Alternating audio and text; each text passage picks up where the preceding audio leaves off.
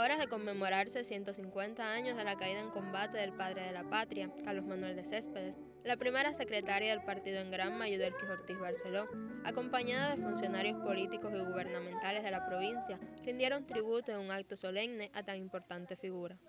En el encuentro se destacaron valores éticos del iniciador de la lucha libertaria cubana, de quien escribiera el apóstol, pero jamás, en su choza de guano, deja de ser el hombre majestuoso que siente e impone la dignidad de la patria. Como este matutino, otras actividades se realizaron hoy en toda Granma con el objetivo de honrar a uno de los hijos más ilustres de la nación. Sabrina Gobea para el Sistema Informativo de la Televisión en Granma.